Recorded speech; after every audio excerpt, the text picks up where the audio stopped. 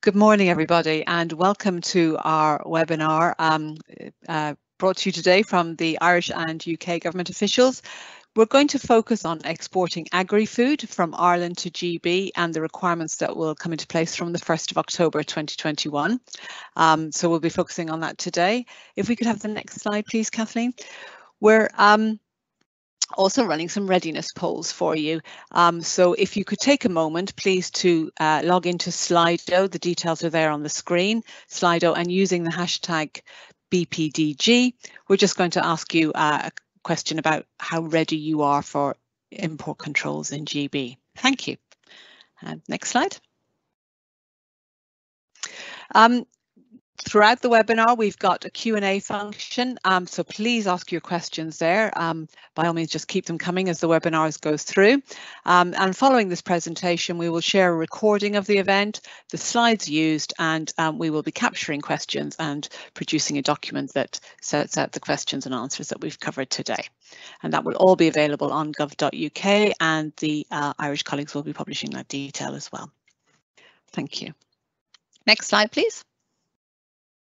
So we've got a, a, busy agenda for the next couple of hours. Um, we're going to have a, a, brief overview of customs procedures, just to remind everybody that although we're talking about uh, procedures for moving agri-food, there are customs procedures required there as well.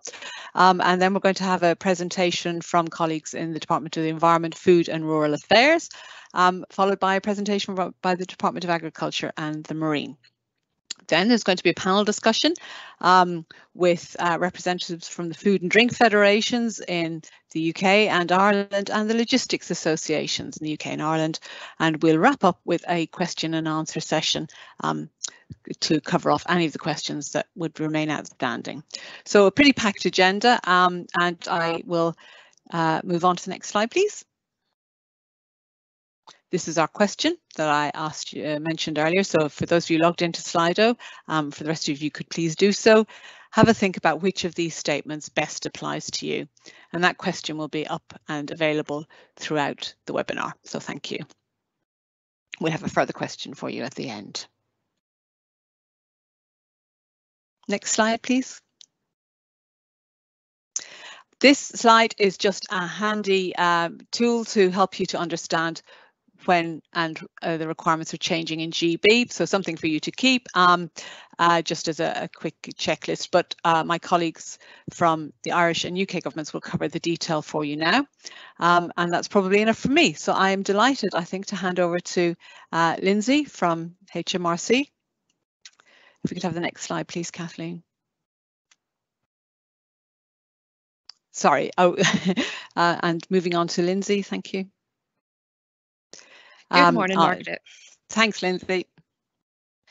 And a very good morning to you all. Um, as Margaret mentioned, my name is Lindsay Neal and I work in stakeholder engagement as part of Customs and Border Design in HMRC.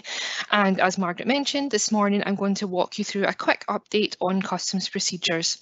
So just to recap, border controls are now in place with the Free Trade Agreement and the UK is now a separate customs territory. This means that the Common Transit Convention or CTC requirements apply and new border controls for imports coming from the EU are being introduced in stages. This started on the 1st of January 2021. Now this means that you must make customs import declarations for any goods that you've brought into GB from the EU since the 1st of January. And if your goods are non-controlled, there are two ways that you can do this. You can either make a full declaration at the time that the goods arrive into Great Britain, or you can delay your declarations for up to 175 days by making a declaration in your records and submitting information to HMRC using a supplementary declaration. So if you're bringing non-controlled goods into Great Britain from the EU, you can make a declaration into your commercial records, um, which is known as Entry into Declarants Records or EIDR and delay sending HMRC the full information about your goods by up to 175 days from the date of import. This information is then used to make your supplementary declaration. The supplementary declaration provides customs with more information about your imported goods. They can then work out the VAT and customs duty that you'll need to pay. You or someone dealing with customs for you must be authorised by HMRC to use the simplified customs import declaration processes before you can submit your supplementary declaration. And looking ahead to the 1st of January 2022, we'll arrive at the end of staged controls process for customs and HMRC will ask importers or their agent to be approved to use simplified procedures such as EIDR.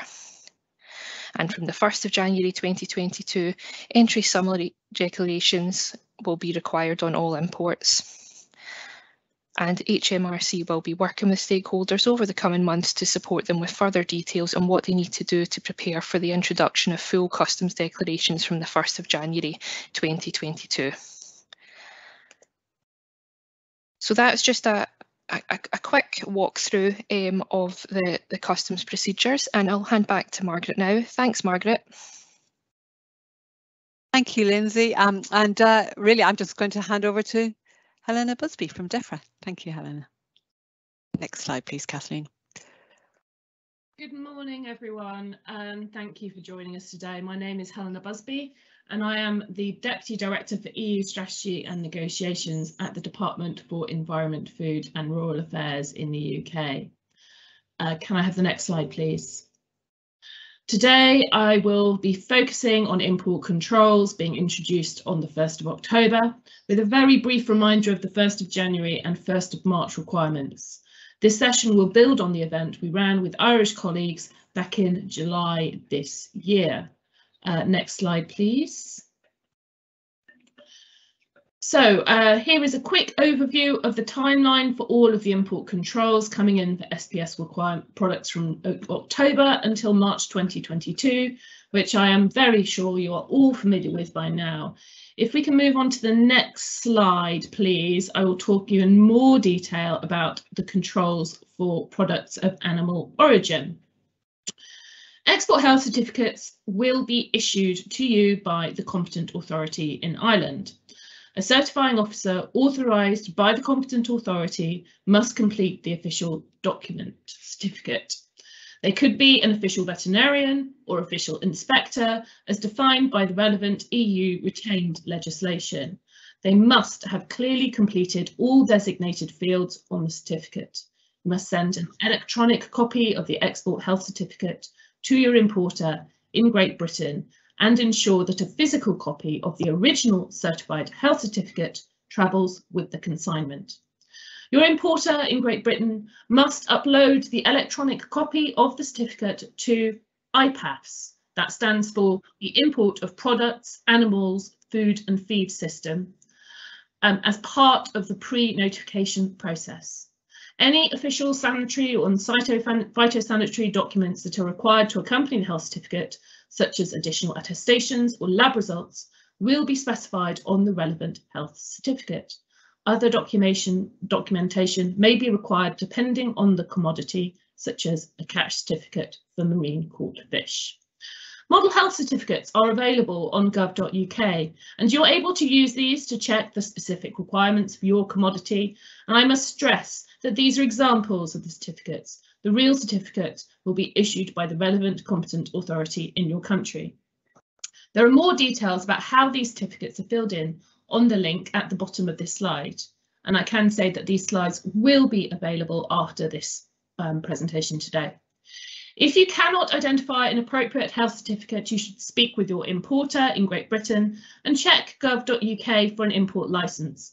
If there is no import license available, you will need to complete an IV58 form and send it to the Animal and Plant Health Agency. This slide contains both a link to that form and the email address to send that form to. Next slide, please, Kathleen. Phytosanitary certificates. So from 1st of January 2022, all regulated plants and plant products will need to follow the requirements for pre-notification and be accompanied by a phytosanitary health certificate. These will need to be obtained from the Plant Health Authority in the country where the supplier is based. An inspection for the certificate is to play, take place no more than 14 days before the consignment is dispatched from the country where your supplier is based. A copy of the phytosanitary certificate will need to be imported onto the import IT system Peach if you need to pre-notify your consignment until the notification process moves over to the IPAFFS system later this year. Your importer will be notified when that happens. By March 2022, physical and identity checks on all regulated plants and plant products will be carried out at border control posts. Next slide, please, Kathleen. So IPAFFS, which as I said stands for the Imported Products, Animals, Food and Feed System, is the IT system that enables your importer in Great Britain to notify the relevant authorities of the arrival of animals and animal products subject to sanitary and phytosanitary controls. From the 1st of October 2021, products of animal origin for human consumption, certain animal byproducts and high-risk food and feed not of animal origin arriving from the EU will need to be pre-notified via IPAFFS. The key thing for EU exporters to remember here is that your importer will need to upload the electronic copy of the health certificate that you obtain from the competent authority in Ireland. Laid out in this slide is the information that must be submitted as part of an IPAFFS pre-notification which includes what product is being imported, the date it is being imported, which country the imported product is arriving from, and the place of destination of the consignment. Between October and December 2021, importers will be required to submit a simplified notification in IPAFFS. From January 2022, additional details will be required. At the end of the presentation, I have included links to webinar demonstrations with more details. Next slide, please, Kathleen. A quick word on pre-notification times. For products of animal origin, certain animal byproducts and high-risk food and feed not of animal origin, importers can notify no less than four hours in advance of arrival at the point of entry. Please be aware that this is a temporary arrangement and that from 1st of January you will need to contact the competent authority at the point of entry to determine if a derogation from 24 hours can be applied. For live animals, IPAFFS pre-notification must be made at least one working day in advance of the goods arrival at the point of entry. For plants and plant products, importers need to need to, oh, sorry, need to submit import notifications at least four working hours prior to arrival for roll-on, roll-off and air movements, or at least one working day prior to arrival by all other modes of transport, along with a phytosanitary certificate. Pre-authorisation by DEFRA or the Animal and Plant Health Agency of animal byproducts prior to any imports taking place may also be required. Next slide, please, Kathleen. Now look at composite products in a bit more detail as we receive a lot of questions on this subject. Composite products are foods that contain both processed and pro processed products of animal origin and products of animal or plant origin, and where the processing of the primary product is an integral part of the production of the final product. Uh, so this could include lasagna, pork pies, mayonnaise, if it contains more than 50% egg. Composite products must follow the stage requirements for products of animal origin I have just laid out. However, there are a few exceptions. Some goods are exempt if they contain less than 50% processed animal product or no meat product, and they meet the requirements set out in legislation. If your goods contain any meat product or more than 50% animal product, they must be pre-notified using IPAFFS They must be accompanied by an export health certificate and followed the phase approach set out for products of animal origin. If you're not sure this applies to you, there is more detailed guidance, including a composite product decision tree, available on the Animal Imports file sharing link, which you will find at the end of the presentation. The next slide, please, Kathleen. Groupage. So um, this is the term used by your industry to describe the commercial grouping of multiple consignments within a single sealed trailer or container. There are four models that have been developed for importing groupage loads from the EU into the Great Britain. These include consolidation hub method, whereby different consignments are brought together at a single approved premises the certification takes place all individual consignments by the certifying officer and the group consignments are loaded and sealed before they leave for onward destination. The sequential or single model, which facilitates pickups from multiple sites. Certification takes place at each site. A seal is applied to the overall load at each pickup point, removed and placed, replaced at the next pickup. This method is reliant upon a certificate of non-manipulation. There is also the linear or multiple pallet model, which is designed to facilitate pickups from multiple sites with certification at each collection point in the chain. This requires pallet level sealing. Sealed pallets are added to the means of transport and the individual seal number on the pallet recorded on the export health certificate. There is no requirement for a certification certificate of non-manipulation with this model, but it does require the presence of a certifying officer at each collection point. All models may be used in conjunction with each other, so as far as general principles around sealing and certification remain. For example, traders may wish to blend the linear model with the consolidation hub method. The key with the mixed hybrid approach will be ensuring full traceability of all products entering Great Britain. Please find a link to a video recording of a webinar which goes through these models in detail on this slide. Next slide, please, Kathleen. EU origin transits. So there'll be new requirements for goods transiting from EU through Great Britain through to the EU again from the 1st of October. Uh, products of animal origin, animal byproducts will require pre-notification on IPAFFS and an export health certificate. High-risk food and feedstock of animal origin will require pre-notification on IPAFFS only. Goods can enter and exit Great Britain through any port with no physical or ID checks required on entry or exit, however. Confirmation that the consignment has left the territory of Great Britain will be required. those same goods travelling through from EU through Great Britain to the rest of the world, they will require pre-notification on IPAFFS and an export health certificate. These goods can also enter and exit Great Britain through any port with no physical or ID checks required on entry or exit. Further guidance, again, is available online. Next slide, please, Kathleen. Um, we've uh, bundled up a few FAQs, which I will talk uh, through briefly. Um, can an IPAFFS notification be made on behalf of an importer by an agent? Yes, uh, that can happen. Up to what point can a trader create amends on IPAFFS, such as adding the export health certificate? The noti notification can be amended at any time in the process. It needs to be submitted and all documentation attached before the minimum notification time. Um, if the container is opened to get the EHC at the inspection post, would the paperwork be updated when the container is resealed by customs officials? So the first part of this question which is what should be done when the inspection is carried out, the answer is there will be no need to update the EHC as it would have completed the imports or been rejected following inspection. So the second uh, part of the question is, is, is related to what would happen with unaccompanied loads. It is a legal requirement for goods to be accompanied by the original health certificate. It is exporter's responsibility to ensure that the original health certificate is available when requested at the point of entry. Uh, for products of animal origin for October 1st to January the 1st, the HC does not accompany the load. Can it be forwarded once issued to the place of delivery? The original EHC should be presented and given to officials at the border control post for inspection. It is for the exporter or the logistics handler on their behalf to ensure the documents are available and presented at the BCP to the officials. Uh, next slide please, Kathleen.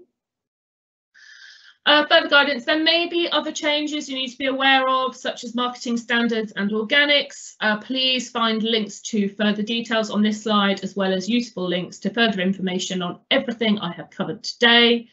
I would in particular bring your attention to the plant health portal um, and to the file sharing site for animal products. This service does require that you sign up with an email address which may take a few days to process. However, it is full of the latest technical guidance.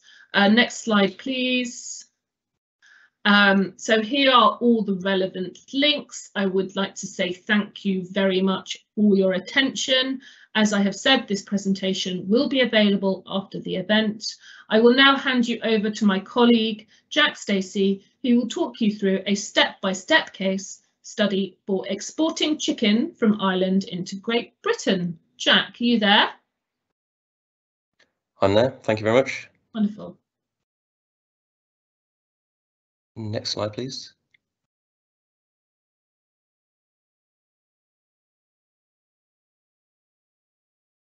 Uh, good morning, everybody. Uh, my name is Jack Stacey, and I'm from DEFRA's Biosecurity Borders and Trade programme.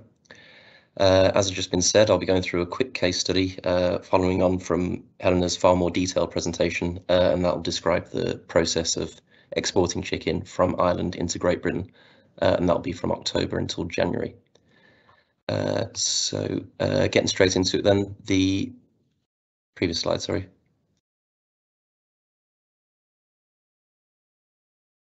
Is it just me whose slides have completely changed? Yeah, apologies. We're just getting okay.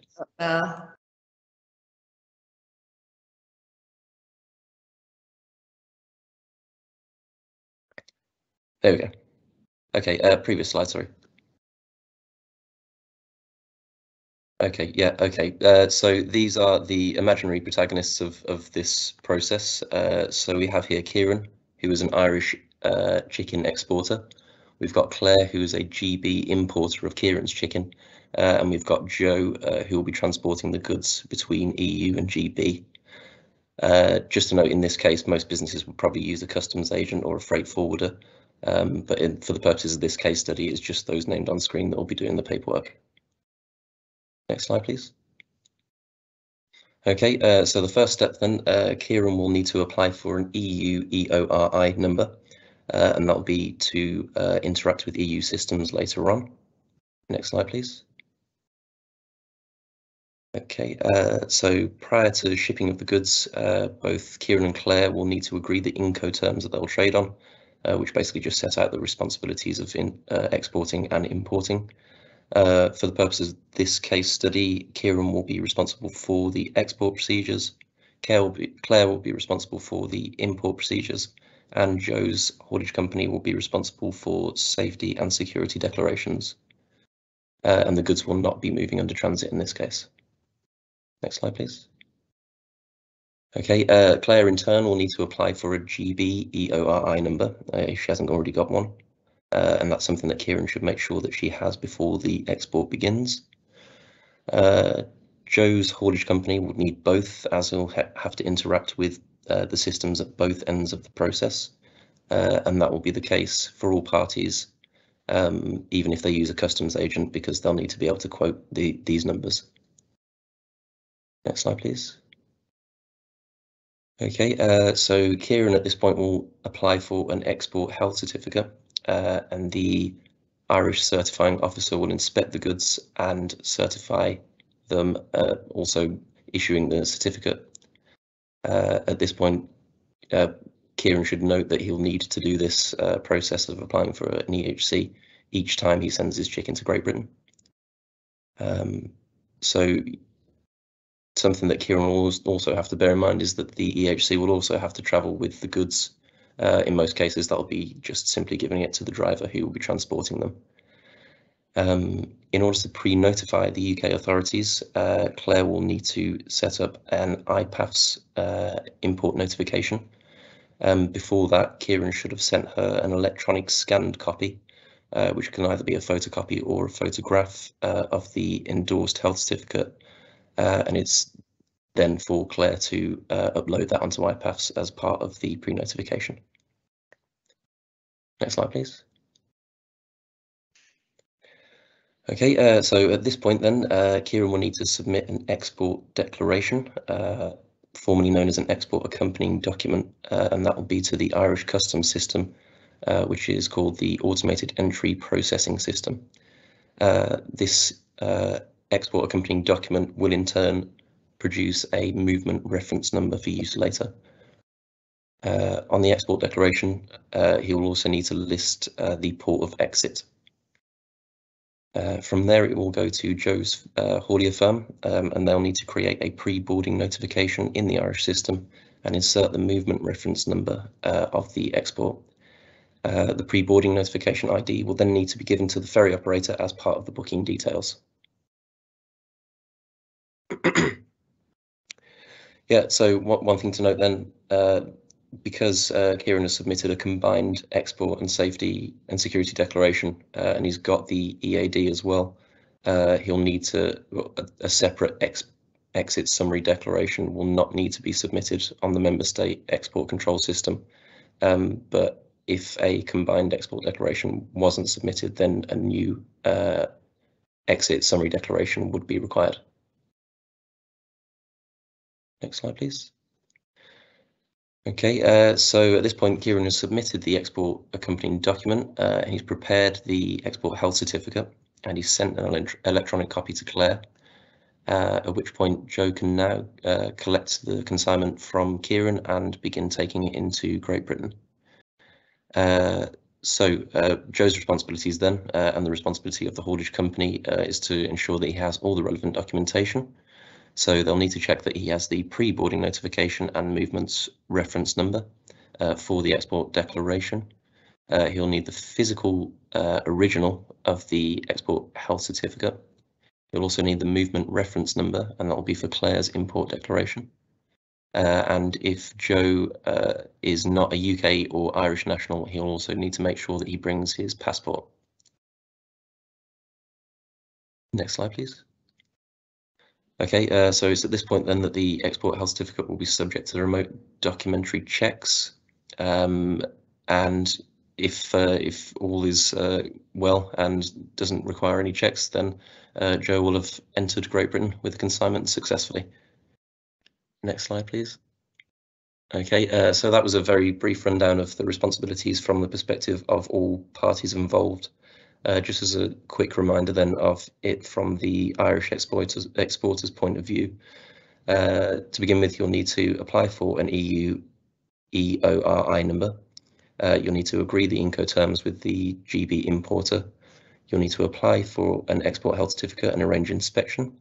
You'll need to send an electronic copy of the EHC to the importer to upload onto IPAFFS. Uh, you'll need to ensure that that original document carry, uh, travels with the goods and you'll also need to submit the export declaration uh, to Irish Customs. Um, yeah, so I, I, think that's the, the process uh, to completion now, in which case I'll hand back to Margaret. Thank you very much, Jack. And uh, I'm really just going to hand over to Damien now, Damien Flynn from the Irish Department of Agriculture. Thank you, Damien. We'll just have a little pause while we get uh, change the slide pack. and Damien comes off mute.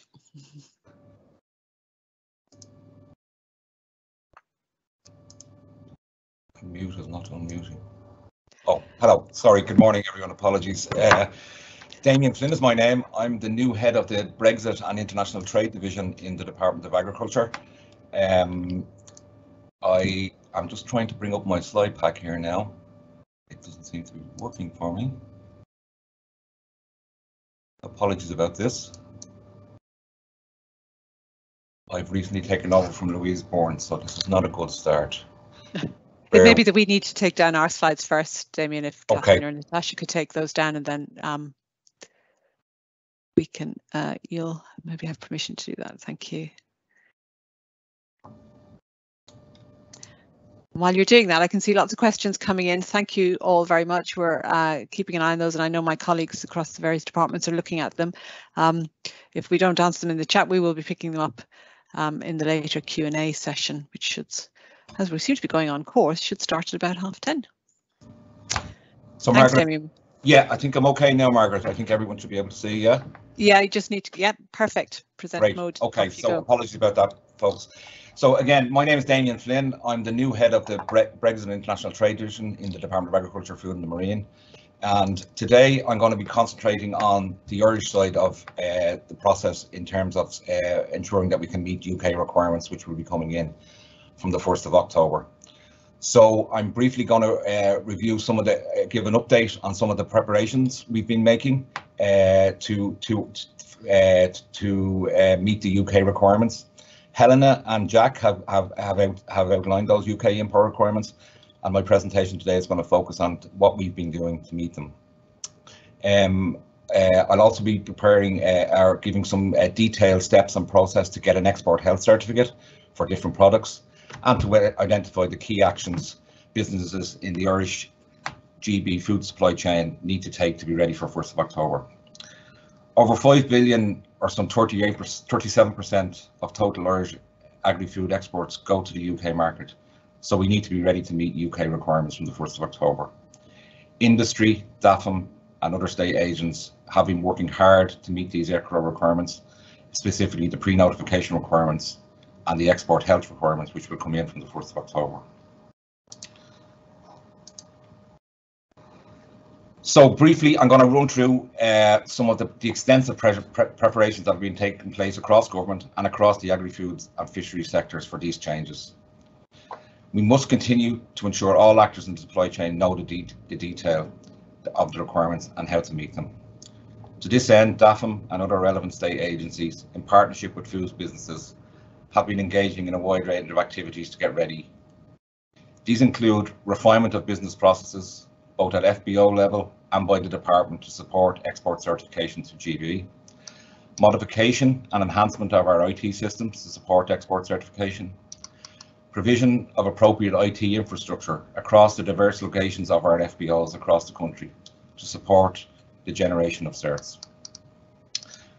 To support the scale of additional certification needed, DAFM is implementing a very significant human resource plan, which includes new staff recruitment, redeployment of existing resources, and the use of contracted, contracted temporary staff as required. We have had and continue to have extensive engagement with FBOs and others in the supply chain on their needs through various fora, including surveys, direct local engagement by DAFM technical and veterinary teams, extensive rounds of training on traces and the Dairy Certification System, DCPS, which includes training on completion of EHC requirements. On training, a comprehensive training plan has been delivered for certifying officers and food businesses to ensure they are familiar with the EU Traces system. 12 Traces webinar sessions have taken place so far, including two revision sessions which were delivered over the, the summer months. Attendees included DAFM staff, local authority veterinary inspectors and food business operators, supervised by DAFM, HSE and local authorities. FSIA and industry represent, uh, representatives also attended. We have had 916 attendees over these 12 sessions. A series of revision webinars will also be delivered throughout September. Further details will, will issue shortly on these, and I would urge any businesses who have not, not engaged with these yet to do so during September. We have also had an extensive programme of trials with uh, food businesses to examine how export health certification will be delivered within DAFM resource capacity and to assess food business preparedness in areas such as IT infrastructure, the systems to provide documentation to support traceability requirements, and to clarify the individual requirements which exist for different products requiring veterinary certification. We have also done some end-to-end testing with our UK colleagues in July, which included some testing of the pre-notification requirements on the UK IPAFFS system. The learnings from these trials and testing have and are informing our approach to refinement of business processes and the learnings are being shared with industry in various fora, including information webinars, our training programme and through the dissemination of anonymised case studies.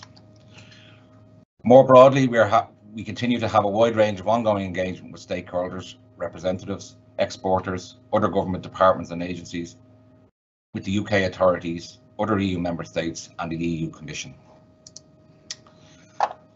With all this preparation, it is clear that the key challenge for Irish exporters and the Irish competent authorities, DAFM, HSE, Sea Fisheries Protection Agency and local authorities is to provide export health certification from the 1st of October. The number of additional certs required from DAFM is estimated to be in excess of 240,000, up, up from 60, the current 60 to 70,000 provided for third countries, which is potentially a 400% increase. This is a big challenge, which is even bigger given the geographically dispersed nature of our food businesses and the just-in-time integrated nature of Irish, Irish supply chains to Great Britain. There are some key things your business can do to prepare for these challenges. Examine the model health certificates available on DEFRA's website and confirm the cert that is needed for your products. Identify the correct CN code for the product you are exporting. Identify the individual requirements for each certificate that are relevant for each of your products access information from your suppliers and then develop a process for gathering it and making it this available in the most appropriate format to your certifying officer. Exporters should, especially those with just-in-time just supply chains, should liaise with their GB customers and request advance orders where possible. Advise and also advise them of limitations with the new certificate which the new certification requirements place on, on, resources, both at business level and, and for certifying authorities. The IT systems to be used to apply for ex export health certificates vary across the commodity groups. For meat, meat products, meat preparations, composite products, honey and table eggs, the EU traces system will be used to apply for and generate certs. For dairy products, including dairy composites, dairy product certification system DAFM's dairy product certification system will be used. For fish and fishery products, the, the, the, we will continue to continue to use the existing Sea Fishery Protection Agency processes. Moving on to the detailed export process. There are essentially four main components to exporting to GB import number one importer requirements which have which my UK colleagues have co covered earlier specifically the pre-notification on IPAFFS which is new from the 1st of October and also the existing customs requirements which have been in place since the 1st of January.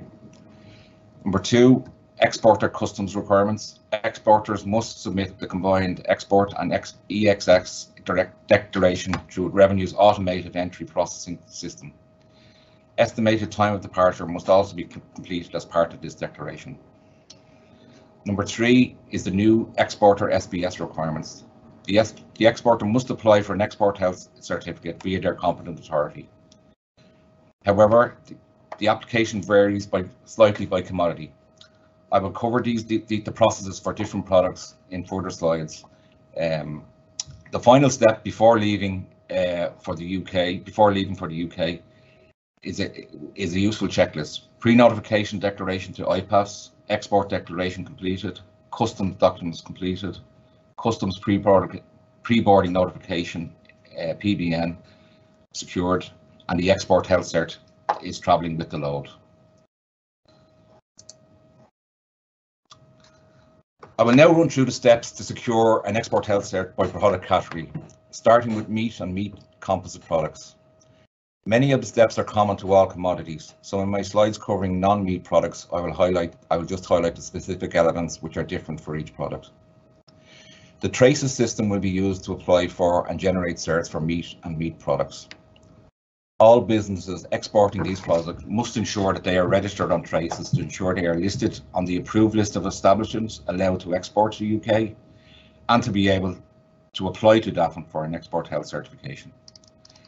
The exporter must make the application for an EHC in traces and at the same time must also alert the relevant regional veterinary office of the upcoming export via email. This should be done five days in advance of export date by completing the basic consignment details on traces. The application on traces can be made in multiple steps, with information that is available in advance being submitted earlier so that the traceabilities elements required for certification can be verified. And the cert can be approved can then be approved quickly once the final details are known. For example transport details final weight etc staff and the relevant veterinary office will review the application and issue the cert if requirements are met. The EHC is generated signed and stamped by the certifying officer generally as an official veterinarian and the original EHC is made available to the exporter. The Irish exporter can then email a scanned copy of the signed EHC to the GB importer. The GB importer will upload the EHC onto IPAFFS. This should happen before the consignment arrives in GB. If you have any uh, any excuse me, if you have any questions on meeting composite product export health certification process, please contact your local veterinary uh, team and make sure that you, uh, make sure that you have a key step is to have all your traceability documents available um, we would put up at the end of the slides, we will put up uh, details of the contact numbers for Traces, the Traces help desk, and also the Brexit call help desk, which can take queries, specific queries you have. Moving on to dairy products. For dairy products, the system for applying for a dairy health certificate is slightly different. Exporters will need to apply for a certificate through the department's Dairy Product Certification System, DPCS. This is the system we use for certification to ex certification of exports uh, for all dairy products to third countries. The application should be made seven days or five working days in advance of export. The key message is, is that you make the application as early as possible. When making the application, not all the inform information needs to be made at the same time of, at the time of application. Amendments can be made to the application before sign off as the as the information becomes available before the export date. However, the earlier the full uh, information is known, the easier it will be to have the certification provided in line with planned export date and time. Once the EHC process is completed, the original EHC is made available in hard copy to the exporter via the, the DAFM's newly created dairy hubs. As with all EHCs, the exporter should send a copy of to the GB importer for uploading to IPAFFS. In the event of further queries in relation to dairy exports, please contact Dairy Certs Help Desk at agriculture.gov.ie. Again, details of this these contact this contacts uh, details will be provided at the on the slides. The key difference between meat products and dairy products is the is the IT system which is used to generate and apply for export health certificates. Moving on to animal byproducts. Applications for animal byproducts should also be made through the Traces IT system and the relevant regional veterinary office should be emailed to be notified notified of the upcoming certificate, upcoming export. Export, uh, the veterinary office start alerted to the new EHC application will carry out preliminary checks and the application will be returned if edits are needed. Staff in the veterinary office perform desk-based checks to review consignment details on traces. For example, product type, weight, number of units, container and seal numbers. The veterinary inspector verifies that the requirements of the EHC are met. This includes on-site risk-based inspections of consignments by the veterinary inspector. Operate, operator seals under under DAFM supervision if required. Operate, excuse me, operator seals are required under DAFM, super, DAFM supervision. The prints off the copy of the EHC and provides it to, uh, the EHC is signed and stamped by the veterinary officer. For sites with a permanent presence, the hard copy EHC is available from the site.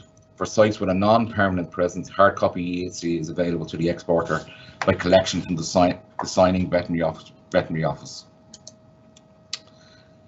Table eggs. Applications for table eggs should be made through the Traces IT system also, and on receipt of the local cert reference number from Traces, the exporter will be required to submit an application form with supporting doc documents by emailing egg health certs at agriculture.gov.ie. This should be done five days in advance of, of the export date. The application and supporting documentation will be reviewed and if an order, the EHC will be issued and the cert will be sent to the exporter. Finally, for honey, like meat, the meat certification pro process, applications for honey export health certs will be made through the Traces IT system. Application for honey, honey export health certificates must also be alerted to DAFM's honey inspectorate at beekeeping at agriculture.gov.ie. They are located in the Department's laboratory in Backweston. Applications for EHC should be made three days, three working days in advance of the export date. So that's a run through the key steps and how to be, how to how to secure uh, an export health cert for the different commodities. I just want to now emphasise some key messages uh, to get ready for the 1st of October. Familiarise yourself with the Irish and UK customs and SPS requirements for exporting goods to Great Britain. A key element here is to identify the right certs for your products. If possible, restructure processes to apply for export health certs during normal working hours to, uh, to ensure that uh, the resource capacity on the, on the, for, for the, the competent authority matches the business requirement. Ensure full traceability information and supporting documentation is available. Put in place a system to organise these documents to align with your certifying officer's needs. Identify the right staff to interact with traces and the dairy certification system as appropriate.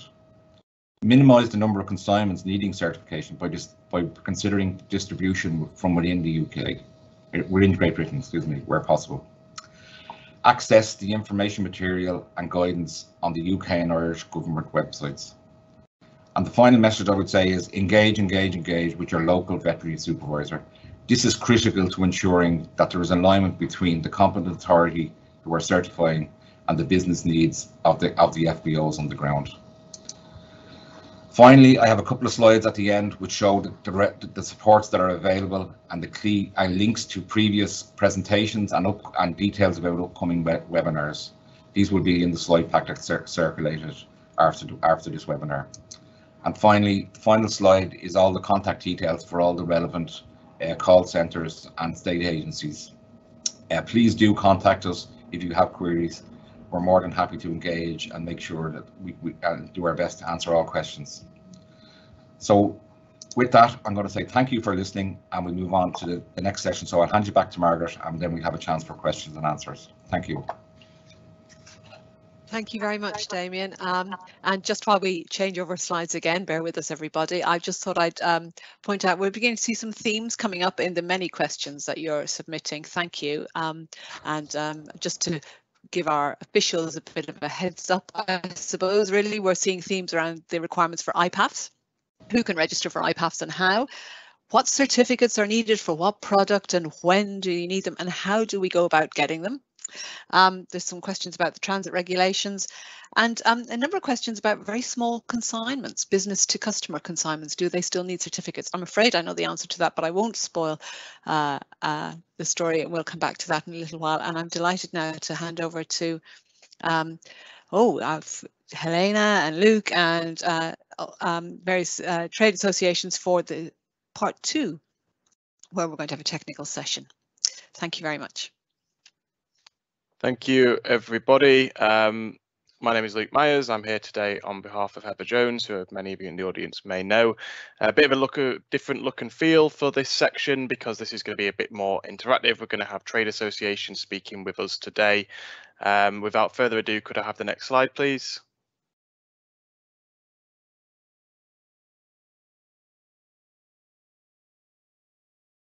So I will be hosting today alongside Damien, who we've just heard from. Hello, Damien. Um, I'll hand over to you, Damien, just to introduce some people on your side, if that's okay.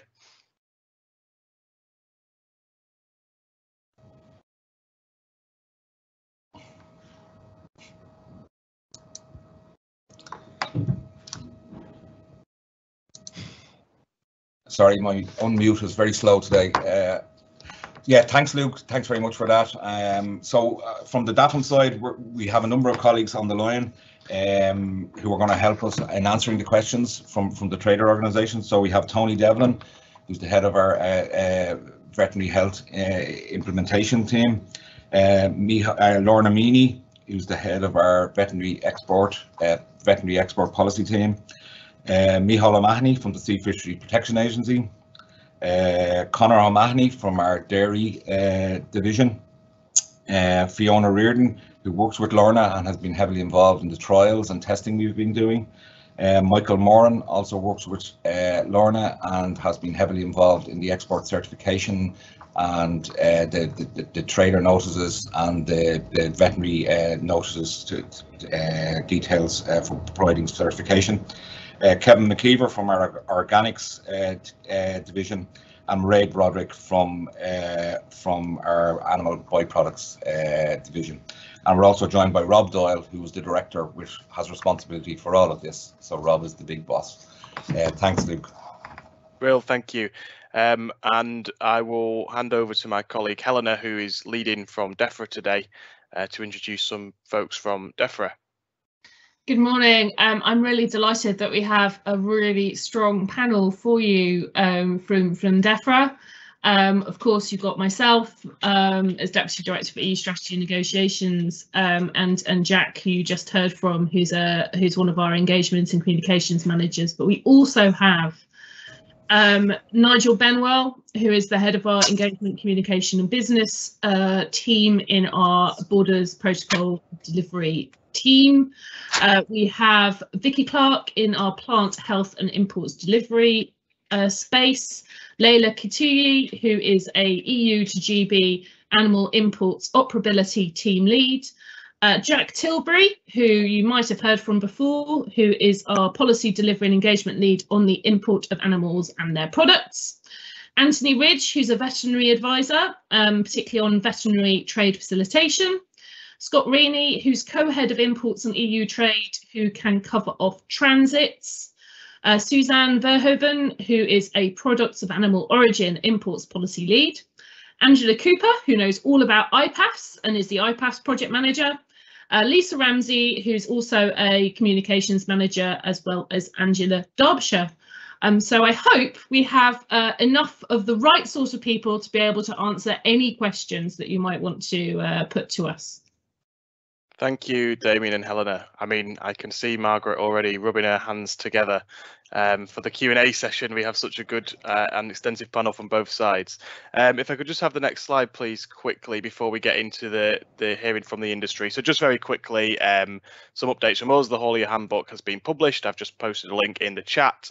Um, this, I think, is a really good demonstration of the, the links we have with industry. Um, there was a lot of collaboration from EU hauliers as well as UK hauliers. And without wishing to embarrass anybody who might be about to speak, I know Logistics UK and their representative Sarah was extremely involved in that process as well. So it shows the engagement we have with industry and, and how you help lead our communication strategy and what we put out. Um, we also have our regular meetings with industry as well, of which this forms a part. Um, and I won't bore you with any further details from that slide. You can have a look in your own time. If we could have the next one, please.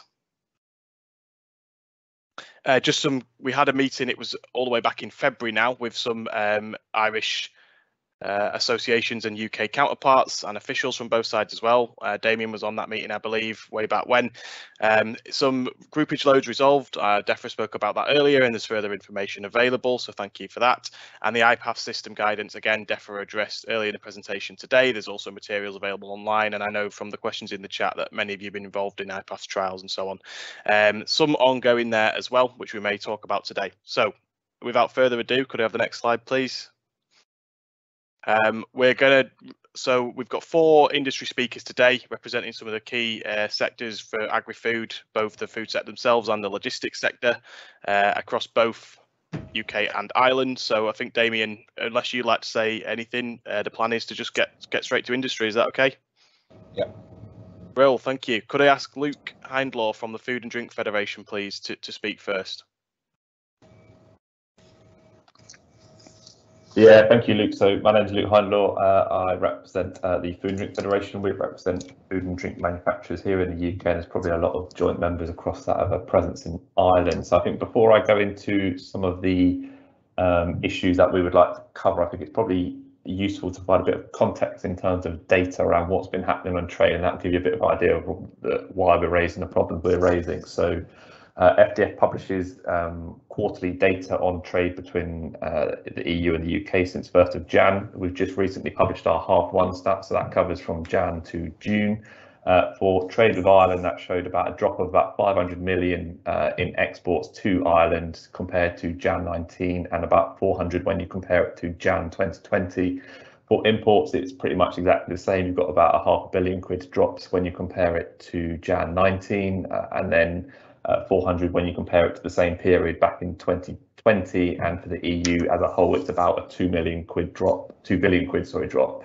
Um, and the patterns within that pretty much are the biggest droppers are in the SPS category and that's why we want to raise those uh, kind of as the big problem. So you typically see the big drops in cheese beef any sorts of dairy products and that one and that kind of takes us into the main problems we want to uh, raise with you today, which are the kind of the process between getting the EHC signed between the trader and the OV, and then the pre-notification time requirements um, in that. So on the first problem, um, I think you know one problem we've seen since 1st of January really is around the complexity of getting the, the EHC signed and that process between the OV and the trader. So you know, getting the the vet uh, on uh, particular GB to the EU side to be able to sign that, getting the trader to kind of give the vet the amount of data, the assurances that they need to uh, meet all of the regulations that are set out in the EHC is really quite a complicated process. It takes a lot of time, and that is probably the biggest reason why we saw a lot of consignments that were grounded at UK factories and they couldn't move uh,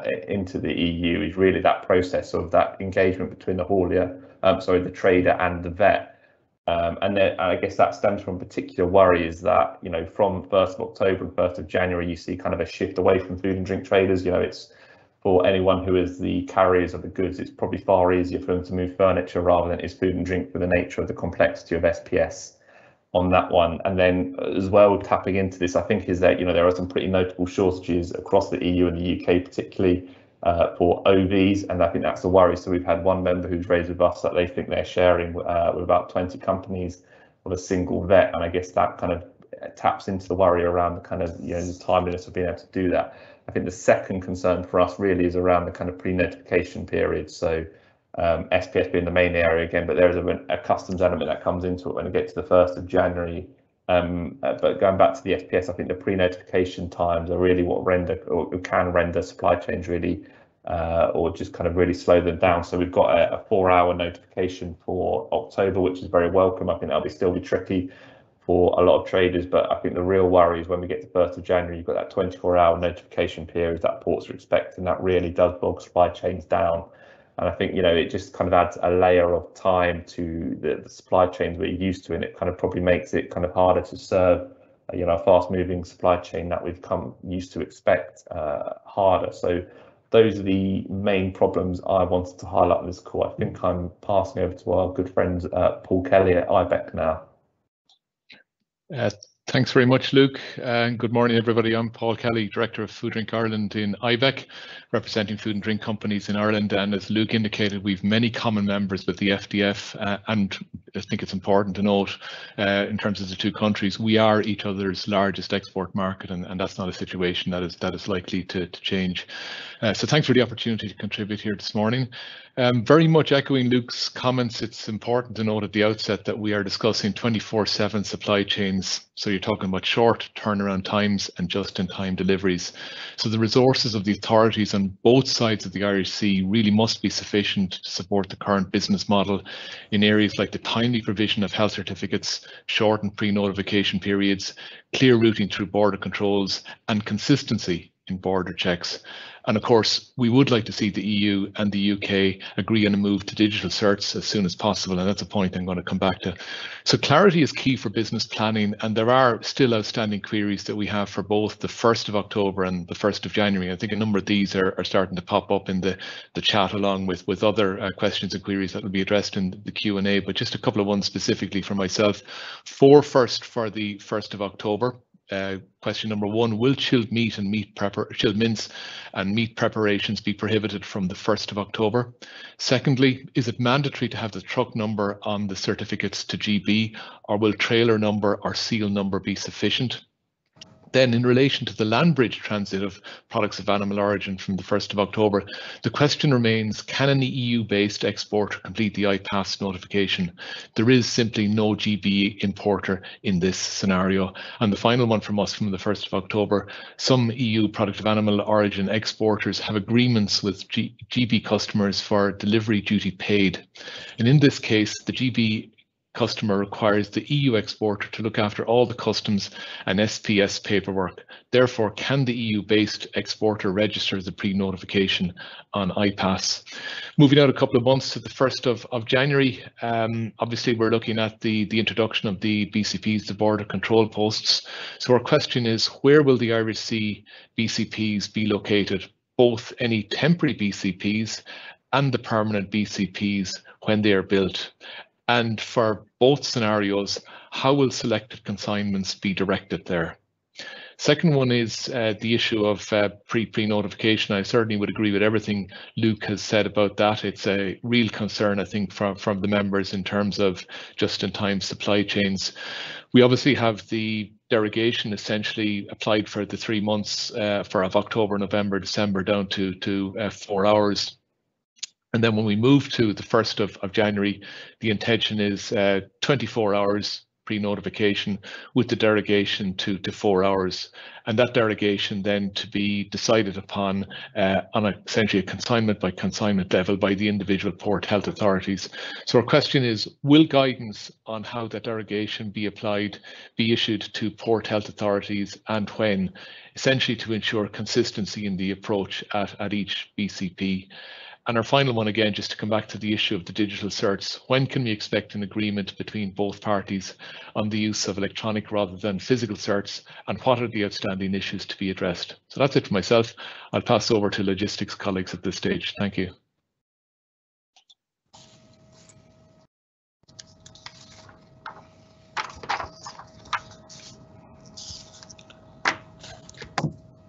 Very much. Uh, I think I'm next. Um, I am Sam Nawadi from Logistics UK.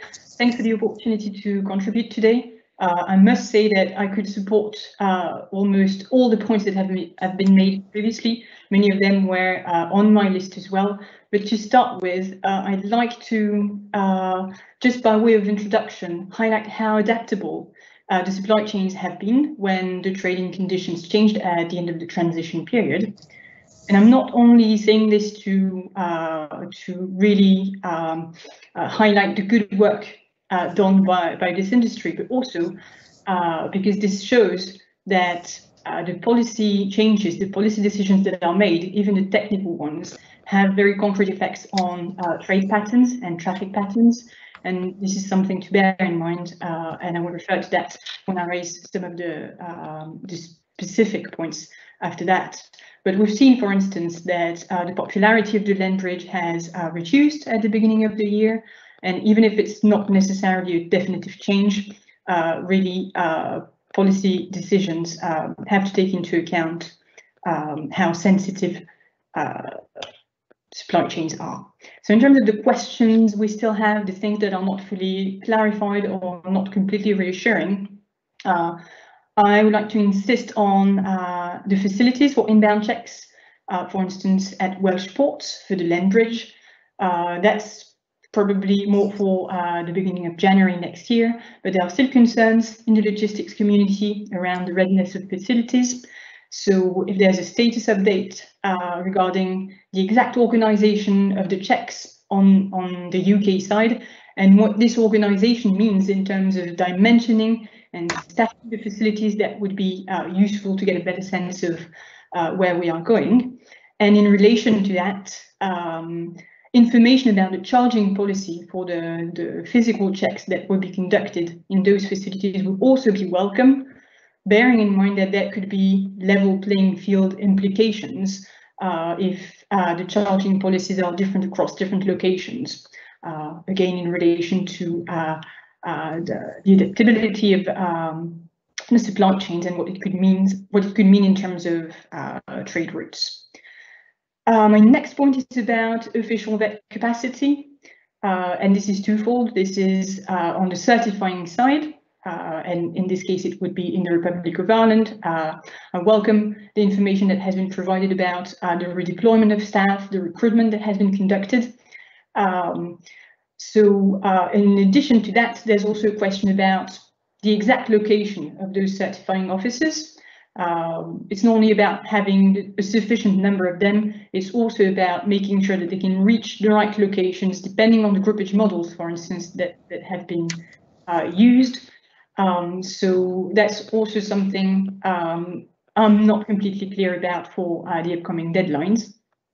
And the second aspect about uh, official vet capacity is about um, capacity on the UK side because uh, as um, more physical checks are taking place uh, in border control posts, uh, a number of the the, uh, the vets uh, that are currently in the UK will be required to complete those tasks. So an update about how this affects overall capacity would be welcome.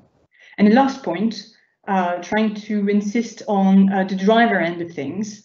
Uh, and I think uh, our colleague from IBEC mentioned that. Uh, should the vehicle be selected for physical checks? What is the exact process and what contingencies are in place to notify the driver that his vehicle or her vehicle has been selected for um, physical checks? And follow-up question, what is the process for unaccompanied freight uh, when uh, consignments are uh, identified and selected for physical checks? And in the interest of time, I will stop here. Thanks very much. Uh, good morning, uh, Aidan Flynn from the Freight Transport Association of Ireland. Um, I suppose the key issues from our members that are involved in import and export of products of animal origin, fish and plants from Great Britain's perspective resonates with what has already been highlighted. Um, whilst key dates for implementation of control measures have been predetermined, the ongoing uncertainty created through the complex nature of the distribution regulatory requirements and by the lack of information available is creating significant problems for businesses. The additional costs associated with the new rolling requirements are crippling and those involved in groupage, particularly the movement of multiple loads for multiple clients is becoming uh, untenable. The irony of this is that logistics is all about efficiencies and speed and certainty of delivery.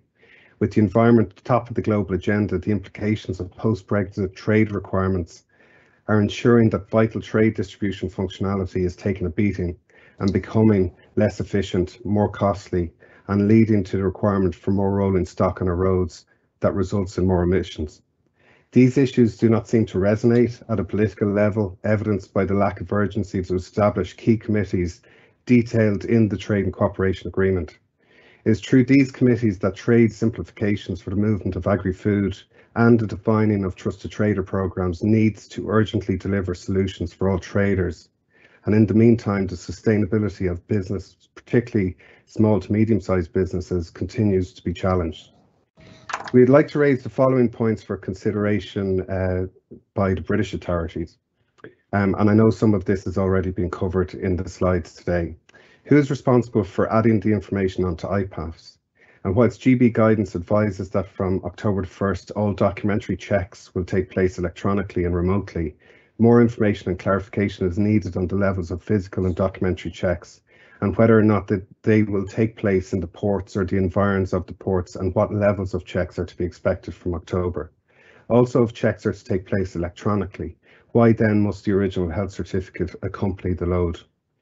What evidence will the driver accompanied haulier have to have upon arrival in British ports? And will the GVMS GMR registration require details of the IPAFFS registration?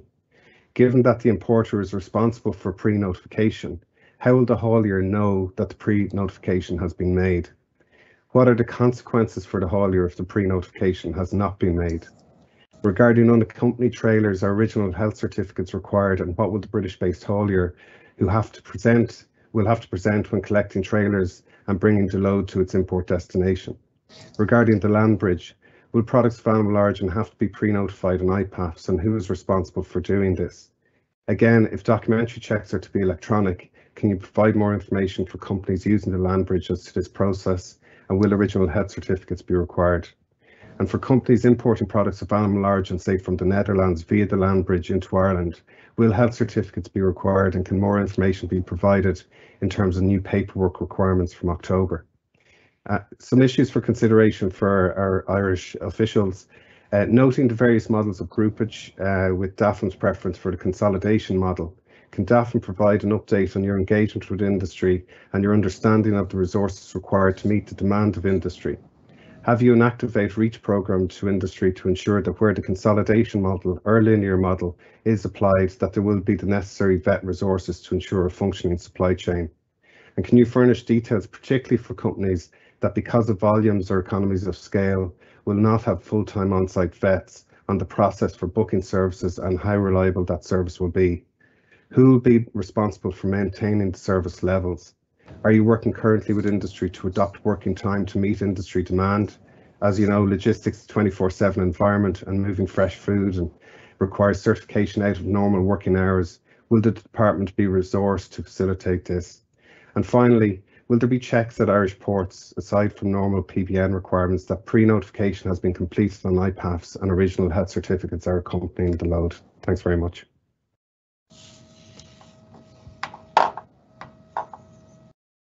Thank you, uh, Aidan, and thanks to all the uh, speakers today. Lots uh, to reflect on, and I think, uh, judging from the Q and A in the chat, um, it feels like that resonates well with the wider audience as well. So thank you for that summary. Um, Damien, I don't know. There was a few for DAFM there. I think most of them were for were for our side in the UK. Do you want to start with the with the few that were mentioned for DAFM in in those presentations, and then we can go over to DEFRA colleagues? Yeah, thanks, Luke, and I want to thank the contributors uh, for making the time today and and and sharing their their concerns with us.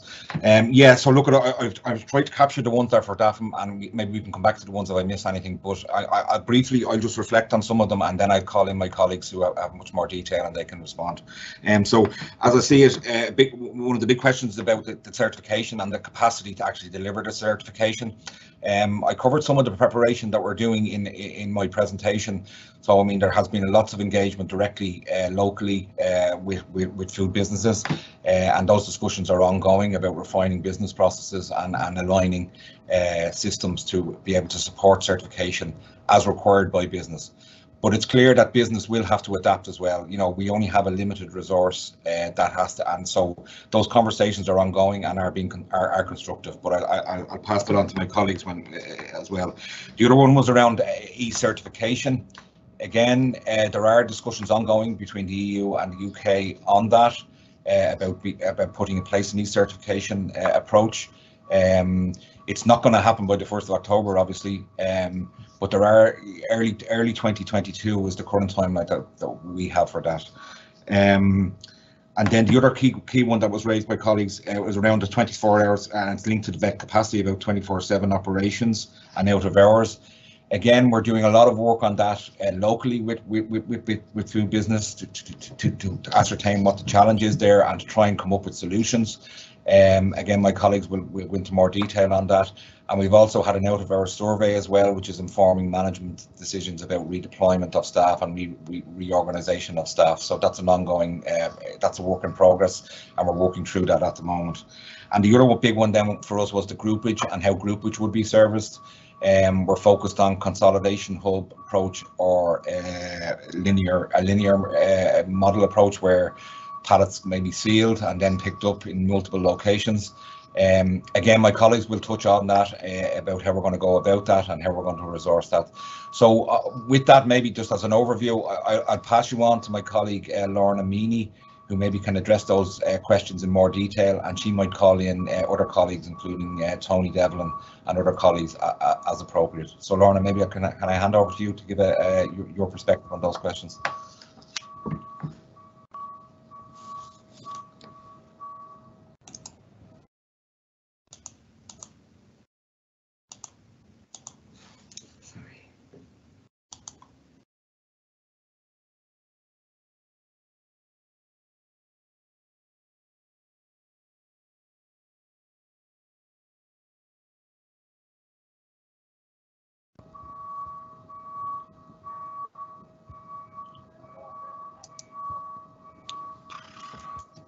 Lorna, sorry, I think you're on mute.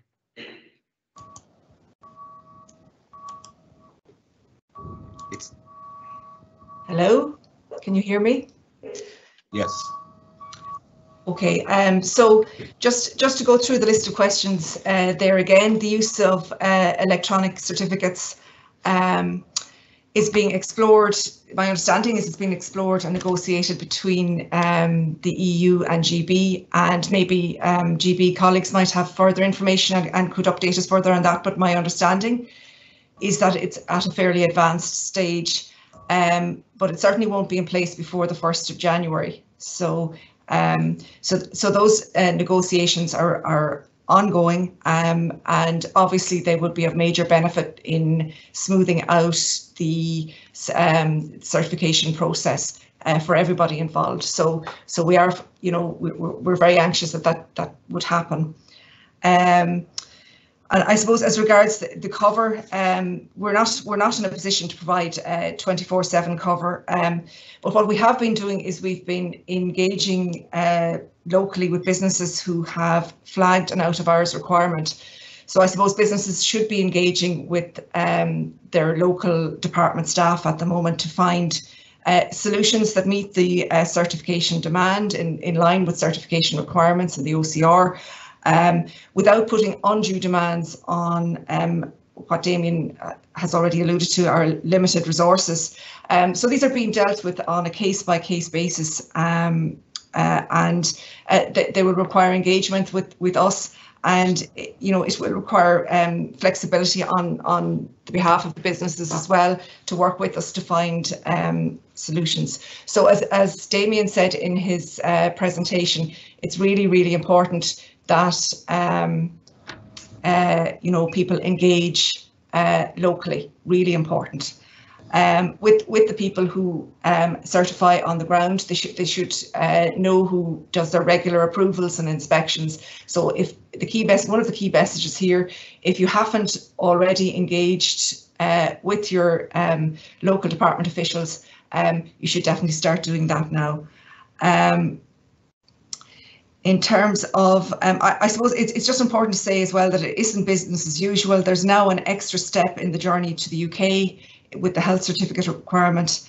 And, um, you know, we, we do have a limited veterinary resource, but just, just to move on to the other questions around what we've been doing as regards um, securing extra resources, um, we've already uh, recruited, the recruitment process has taken place, and so there are already extra resources either in place or will be in place very, very soon. Um, we have been, um, uh, you know, we have plans, if necessary, to redeploy staff in from other areas if if if that is required. Um, and um, we also have um, uh, some some staff taken on on temporary contracts. So all of those things together, plus working with industry to um, to find solutions, um, you know, will will help in our preparedness for the first of October as regards our uh, resource need. Um, and I suppose it's important to say also that, um, you know, in our preparations, we have um, been involved in uh, training our own staff in the new certification requirements um, in our um, and, and also training our FBOs. We've had multiple seminars all through the summer, um, you know, dealing with um, the IT systems that we're using, the Traces system in particular, um, and um, also the certification requirements. Um, we've had um, certification days this week where we've encouraged um, food businesses to engage with us to do uh, mini trial runs right across the board to ensure that the processes that we have in place are working. And we have plans for a certification week uh, the week after next, um, where we'll be doing more of that.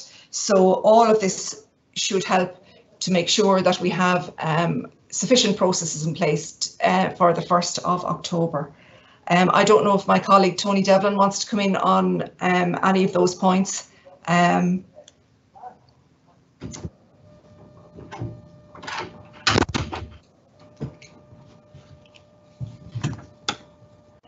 Hello, uh, thanks Lorna. Yeah, just to pick up on a couple of points. So in relation to um, out of hours trade and uh, those aspects, we have undertaken very comprehensive surveys of what the demand is.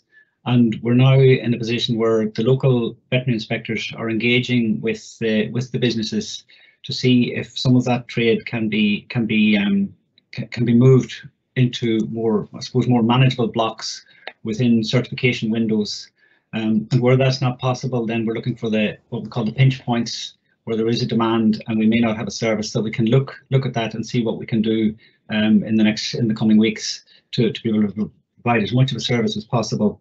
Um, as has been said, like it's not business as usual. So there has to be some movement on on the business side to um, to to um, to provide to to allow for you know, the, the limited veterinary resource. And, you know, we have gone into extensive recruitment, we have redeployment, and we have temporary contracts of um, experienced staff. So we're trying to identify where the greatest demands are and allocate resources to those points. But it's key, um, a key part of that is that the businesses themselves engage locally and talk through their demands, talk through their systems and what can be done.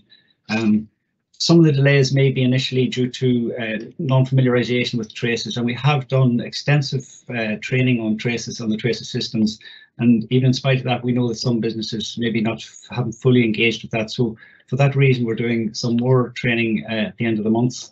So that'll be a chance for those maybe that haven't fully engaged um, to, to get involved because some of the problems that are arising and the delays that are arising in the trials that we've done to date or that you know maybe the wrong cert, cert has been submitted, the wrong uh, commodity codes, there's been uh, lack of practice just in using the traces systems and having the correct traceability um, documentation that is needed. So the more accurate information that's submitted with the type 1 application or the part 1 of the traces application, then the easier it is for the certifying veterinary surgeon to, to sign off and get the documentation back to, to the business, which we understand is, is you know, time sensitive.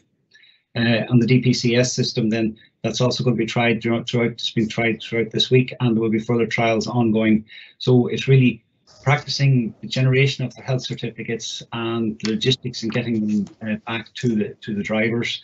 And we're working on that. And we're working through that um, a, a, week from from now until I suppose the first of October.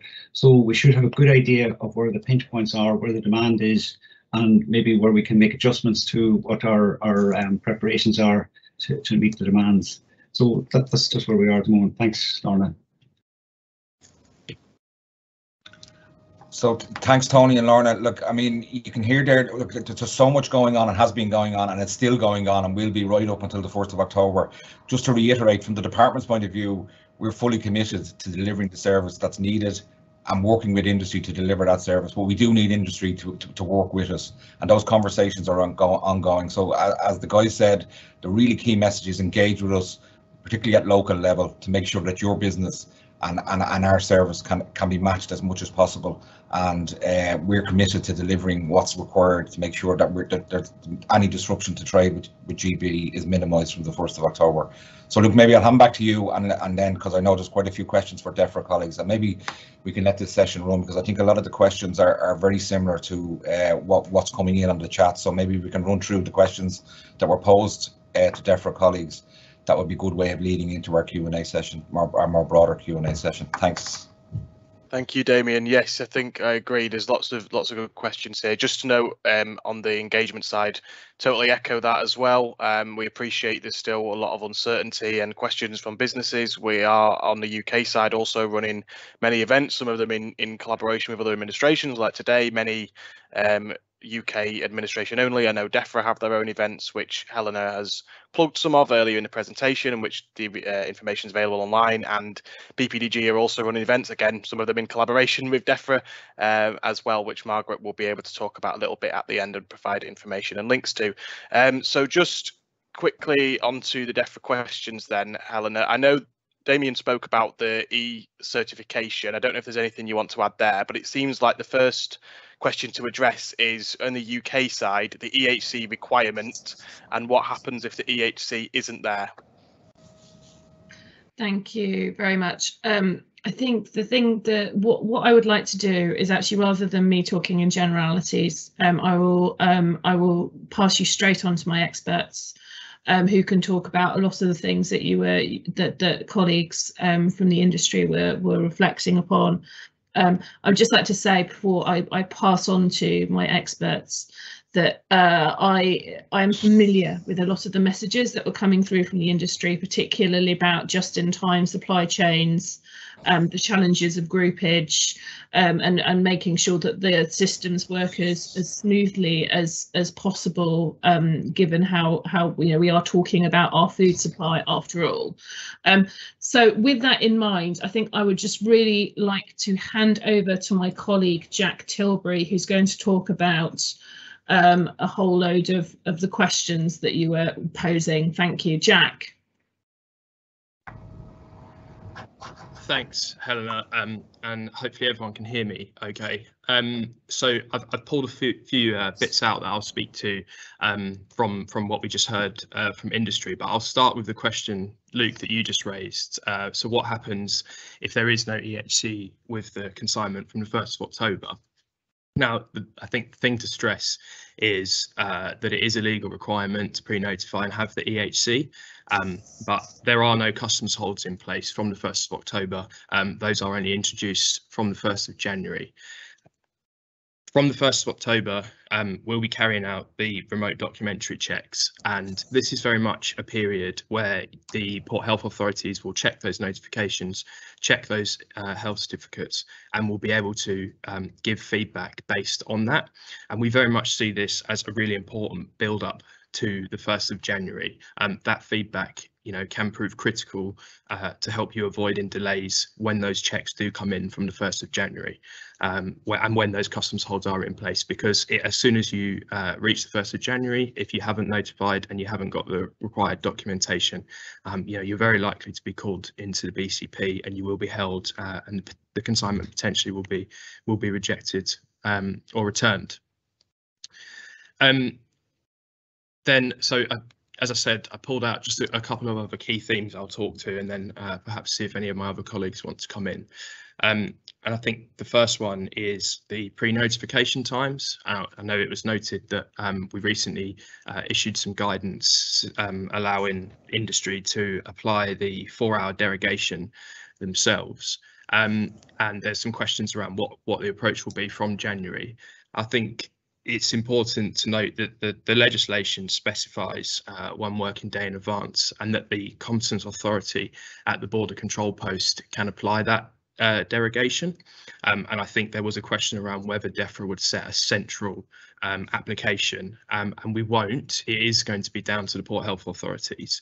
Uh, the 1st of October onwards is going to be a good opportunity for the Port Health authorities to get a better understanding of the time taken for the documentary checks, and they'll be able to use that uh, understanding and you know it, the experiences they're having from the 1st of October to determine how and when they may choose to apply those derogations. I think the critical thing to remember as well is that each BCP does operate differently. Um, they will it will be dependent on the routes taken to arrive at that port um, and also the the local circumstances. Um, in terms of what we'll do as part of that process, you know, we will obviously continue to work with the port health authorities to understand how and when they're going to choose uh, to make that derogation available from the 1st of January. And if there is, uh, you know, something we can do to make sure that information is readily available and easy to access, um, then I'm sure there's a role for us there and we'll pick that up. Um, so the next thing, uh, slightly related, I suppose, I wanted to talk through was IPAFFS uh, and who can submit the notification. And I saw there were quite a few questions in the actual Q&A as well relating to this. Um, so for imports into Britain from the EU, it must be uh, some the person responsible from the consignment must have a UK address, and it's them that will need to raise the notification and be detailed uh, on the application. Um, I did see a few questions uh, around what uh, what will happen where you ship direct to consumer, um, and the, the the guidance is the same. It must it must be someone with a UK based address. Uh, so in those circumstances, if you don't have a UK entity that can raise that notification for you and be detailed, you may need to look to employ um, a UK based agent who can who, who can be that entity uh, and raise that notification.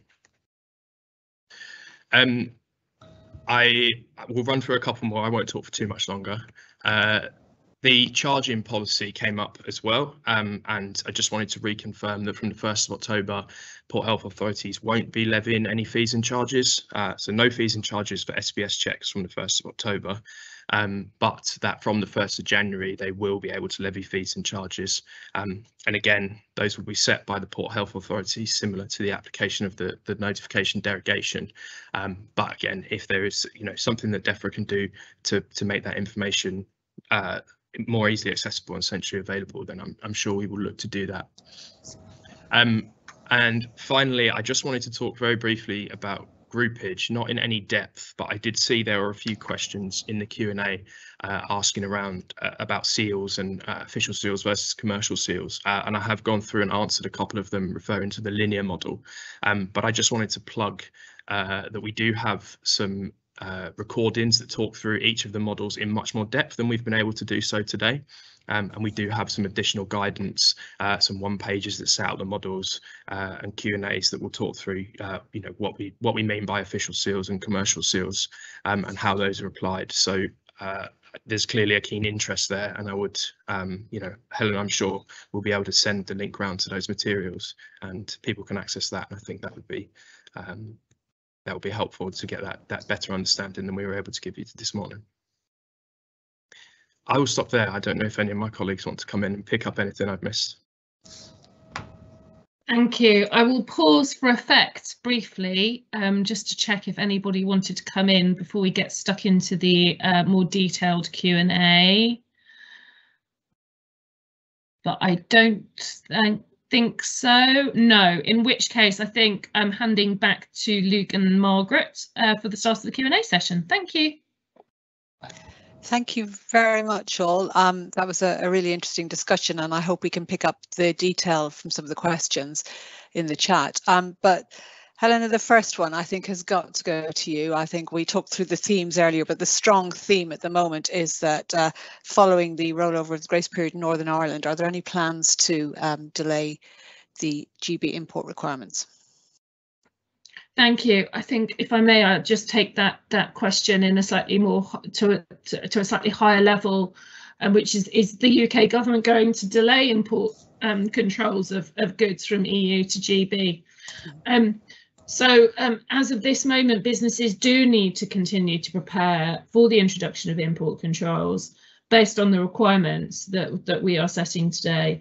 However, of course, if they were to change, uh, we will work extremely closely, not only with businesses, but also with our colleagues in Ireland to ensure that all businesses and all related authorities are aware um, I think I will stop there, please, Margaret, and move on. Thank you, thank you.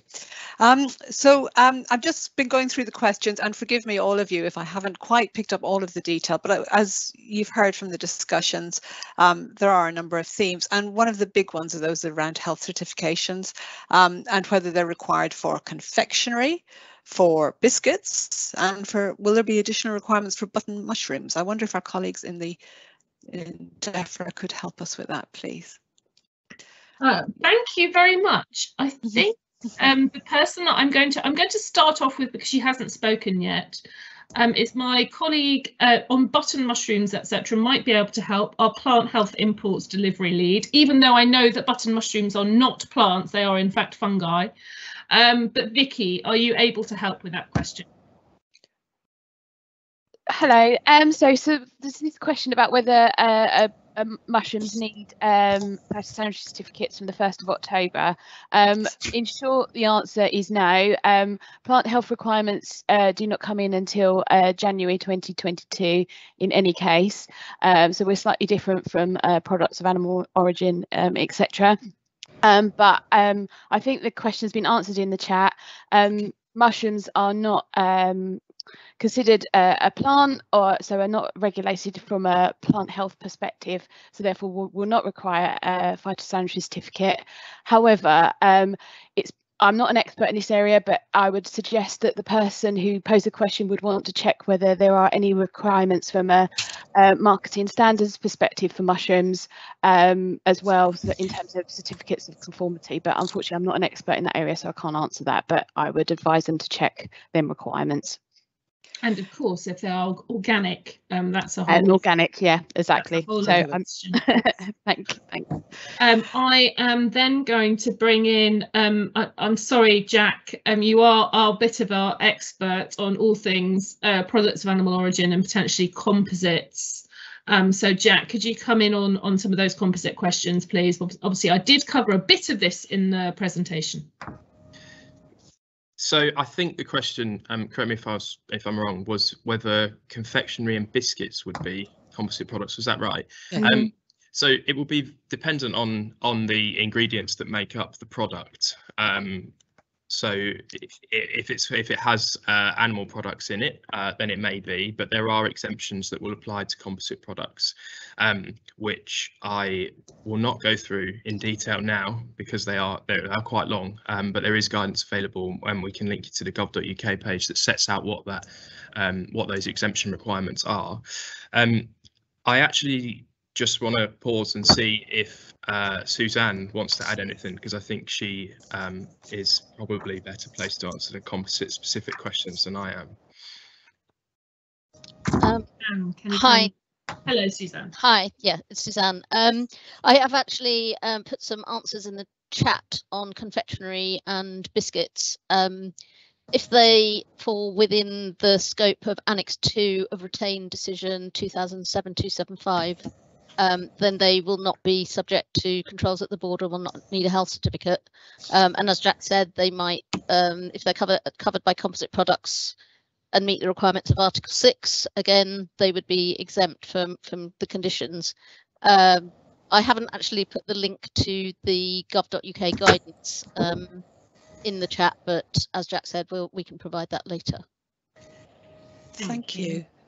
Uh, Sorry, thank you. Thank you very much. Um, I just linked to the health certificates question. There was a question about whether small parcels, so business sending goods, for instance, I think the example given was smoked salmon to consumers uh, in the UK, would they still need certificates? Uh, If I'm right, I, I think it doesn't matter about the size of the, and the recipient, they will still need certificates if the goods require a certificate. Is that correct? Uh, yes, that is correct. Um, they will still be subject to SPS controls. Lovely. And are Uh, there, is there a nice sorry, step?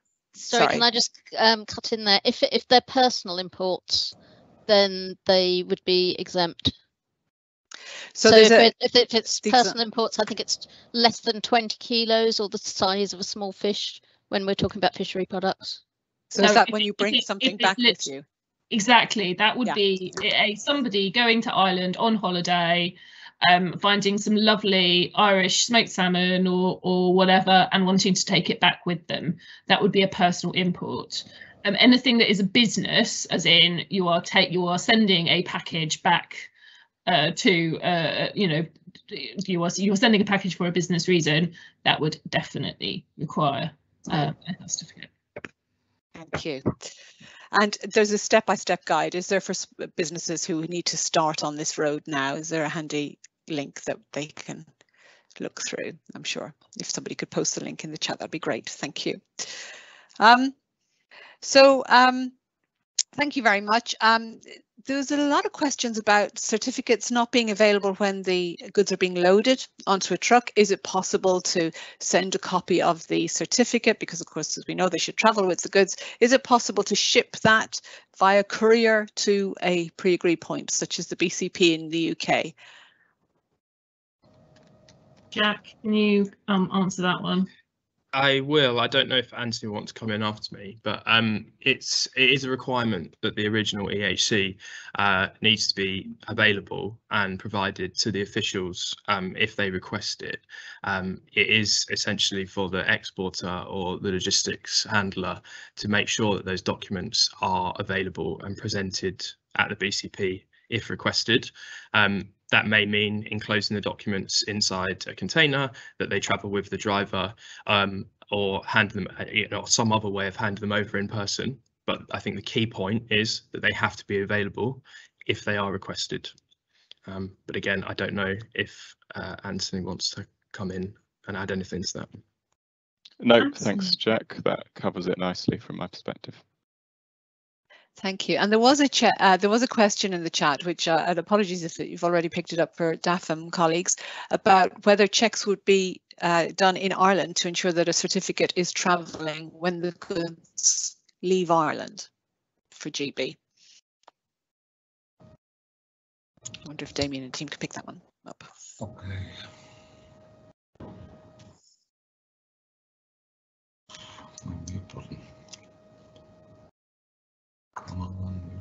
Your mute seems to have um, speeded up now, Damien. Oh, is it? So can you hear me? Yeah. Yeah, we can hear you. Yeah. Okay, sorry. Yeah, live. This is what I didn't course there when I thought it wasn't done. um, so yeah, look at I'll let my colleagues, uh, but we won't be doing any checking on certs at ports or as they leave the country or anything. I think there was a question about that, uh, and I think one of our uh, trader reps actually raised that question as well uh, in advance with us. So that's my understanding, uh, but maybe uh, Lorna can confirm that for me.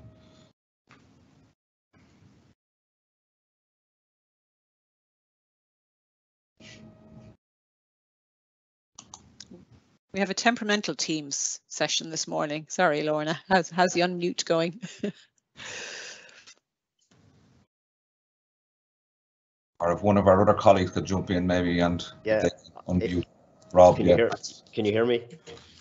I'm working. Yeah, Yeah. loud So clear. yeah, I can. Yeah, I can answer that. Like there'll be no uh, once the consignment leaves the certification point, we'll have you know no further checks on uh, on ports of exit. Like the load will then travel unhindered. Perfect. Thank you. Okay, We should have the certs. Right.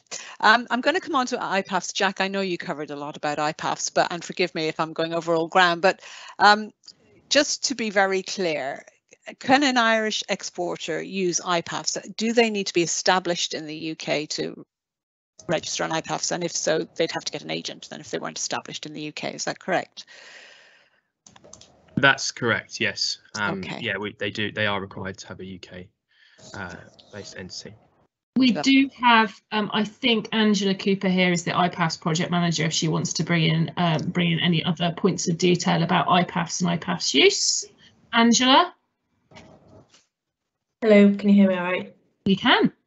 Yeah, um, so, so, yeah, Jack's correct. You do need, um, to be UK based. Um, so, um, yeah, there's not much else to add really.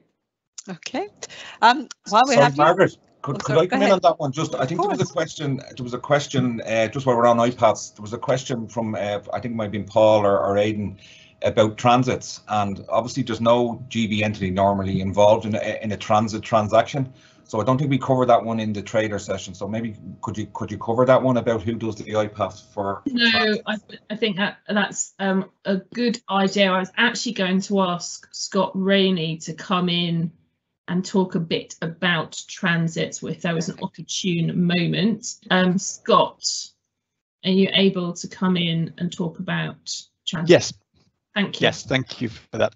Uh, so yes, just picking up that question uh, around uh, pre-notification and having a UK entity for transits. Now, obviously, for transits, we wouldn't have a a UK entity, so then we will come back to you separately to this in terms of whether there is any scope to allow a non-UK entity to to fill in IPAFFS pre-notification for transit goods going across GB. Um, but yeah, I may just need to come back to that point after this if I can and confirm. Um, Scott, I can do that for you. Okay, if thank you. That's helpful. We, Yeah. uh, yeah, no, I had a conversation with Vlad about this uh, a couple of days ago. You will still need um, a UK entity. It's um, because it's, it needs to be traceable. Um, and so, yes, in that situation, you would need to employ a, a UK-based agent to handle that part of the movement for you.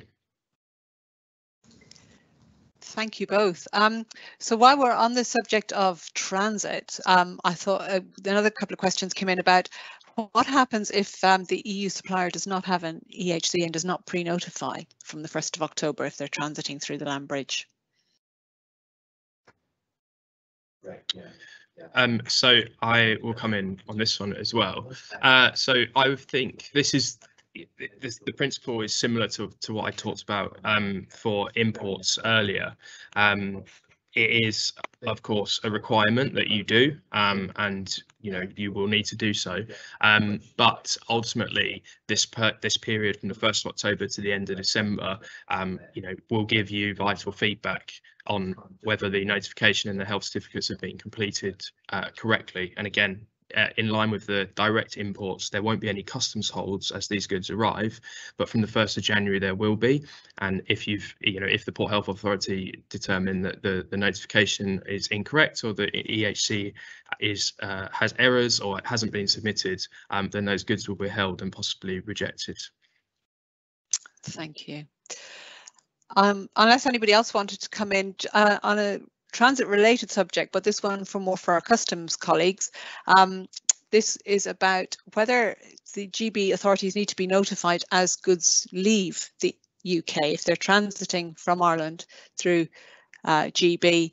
Do they need to notify authorities when leaving GB? My understanding for transit is that you would not have to do that because when you arrive in the new customs territory, say France, for instance, your Office of Transit um, notification there will alert authorities here. Is that correct, Claire? Lindsay, are you? Hi, Margaret. I think we've got uh, James from our transit team on. Perfect. stage, uh, he- He, may want to come in on this, but yeah, you're quite right. It really depends on where your office of destination uh, and transit and departure are listed on your routeway. That's Okay, where so- you need to declare. Can I just come in on that point as well from a SPS biosecurity perspective? There is a requirement for SPS goods transiting GB to be notified when they leave GB territory, and we'll we're expecting an email notification coming through to a central point to confirm that they've actually left the country. I see. Well, thank you.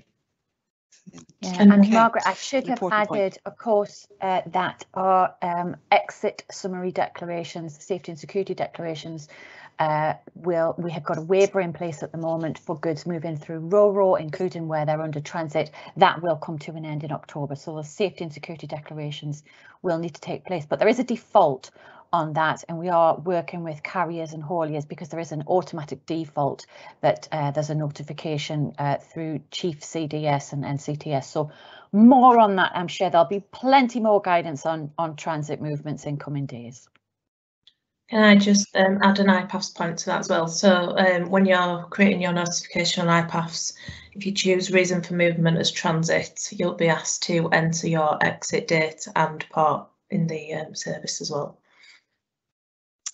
Thank you all very much. Um, I'm going to come back to IPAFFS um, and a few more technical questions, um, just uh, for you, if you're ready. Some uh, one of our attendees talked about having done a test in IPAFFS and they've submitted some documents and it shows that the status as submitted. Is that correct? Is there any more they need to do now? Um, no, I did respond in the chat to this one. Um, Thank you, Angela. Sorry, I haven't been picking up all the answers. okay. Um, yeah, so so as soon as it says submitted, that's everything that you need to do in IPAFFS. That means the BCP have now got a copy of it and they will do their checks. Um, if there is any additional feedback on it, any, any of the documents, then they will get back in touch using your contact details that you supply via uh, Government Gateway. Thank you. Um, and uh, does a haulier need proof that the IPAFFS has done? Is it does the haulier, or the driver, just need to have the eh, the health certificates? Um, I wouldn't say they, they must have evidence, but if they do want to have evidence for their own sort of confidence that it's been um, created, you can download the no- notification in IPAFFS. Um, so you just download the download it as a web page, um, and that can be sent across if need be. Thank you. Um, I've got a, a, question I'm just going to throw out to all of you now about SPS goods coming into GB for exports from GB, coming from Ireland to GB to be consolidated and then exported out of here. Um, must they remain under bond in the UK? Um, and if they are, do they have to be consolidated in a bonded warehouse? And if if they're going to be unloaded in the UK, what is it? What is the requirements there? Is that a tricky one?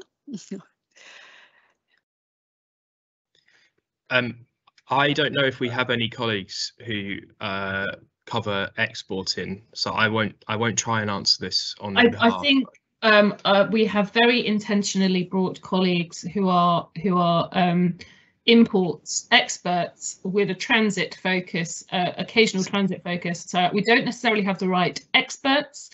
But Anthony, you did come on video. I did, so Maybe yes. you will be I- able to answer. I However, could, I could try. Um, it might not be the final answer, but but the but so if the goods have been brought into the UK market and into the GB market particularly, um, and are in free circulation, um, then the in order to move them to the EU, they need to follow the normal EU export rules and requirements, including certification. The bit I'm more hazy about is the use of bonded warehouses, where that, whereas I understand that to mean they haven't entered free mm. circulation and, and under some sort of customs hold, in which case that's more of a, a, a transit question of, you know, EU transiting UK going back to EU, and that's where I get a bit hazy. so I think it might be worth taking this away and consulting those that have been involved with the transits from the, the reverse side, looking at it from a EU transit EU perspective rather than the other way around. But uh, so we might want to come back with more details, but that's the best I can provide right now. Thank you. Thank you. Yeah, so that was a tricky one. It might be better to come back written detail and we'll liaise with our customs colleagues. Right. Um, the one of uh, the attendees has mentioned a video that DAFM has produced about sealing a pallet and they wanted confirmation that that was acceptable to DEFRA. And there are a number of other questions about official seals and some clarification sought about when an official seal is needed. Um, I don't know if you've been picking those up as you go through the chat, but if somebody could come on and clarify the position on seals. Um, sorry, Margaret. I don't know if anybody else didn't catch it, but I heard you mention a video, but I didn't. I didn't catch Oh. the rest of the first part of what you said. Apologies, sorry. So um, uh, one of the attendees has mentioned a, a video that DAFM has produced, which sets out how to seal a pallet. And the uh, attendee asked if that particular approach is acceptable to DEFRA. There were then some follow-up questions about um, uh, there's some confusion about whether an official seal is needed or not. Um, and if not, will um, the seal section on the EHC be left blank? So there were a number of questions about seals, and I just thought it might be useful to clarify the position. Rather than go into the specifics, perhaps we could just um, talk about rather answer the specific question. Let's just talk about seals. Um, just make sure that we're we're correct. Um, and just uh, so maybe Jack, can you can you cover off uh, seals with some colleagues? I think that would be that would be enormously helpful. Thank you. Yes. So so um, where we mention official seals, uh, essentially we mean that the seal has been placed in sight of the certifying officer and they've certified that seal was placed in front of them and it's been annotated and signed on the EHC.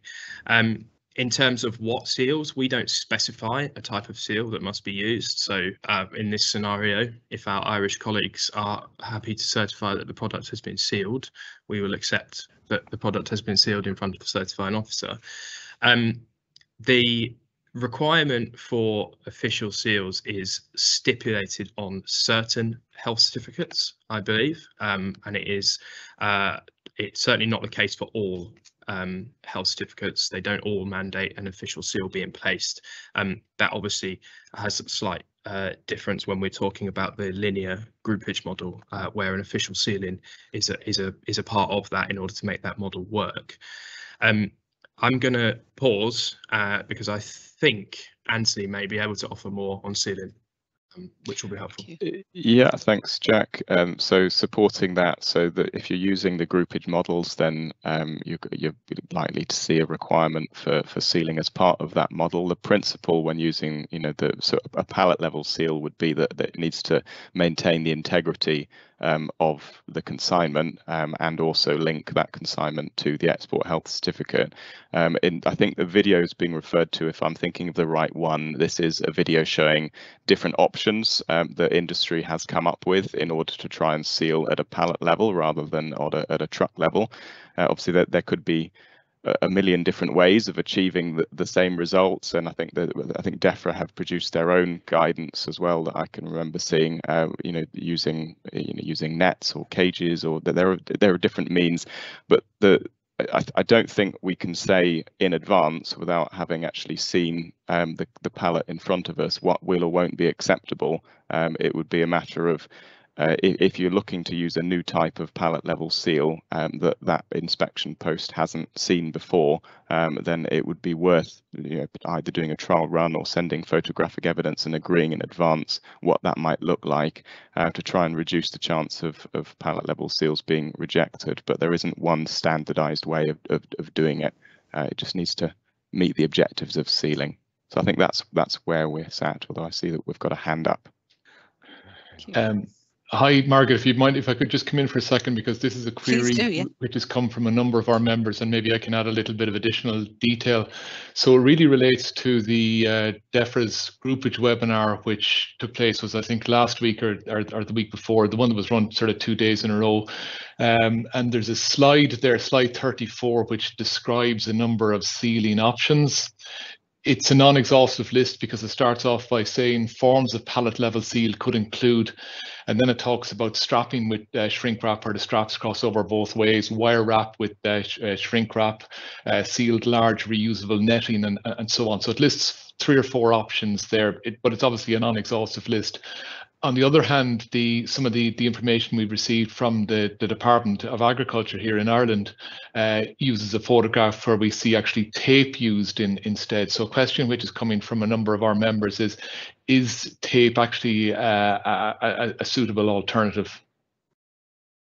And again, the rest of it happens under the normal process with the, the official veterinarian and, and so on. But it's just actually the actual uh, securing method uh, using tape and then using a, a tamper-proof seal at, at, at the point where you get the crossover of the tape.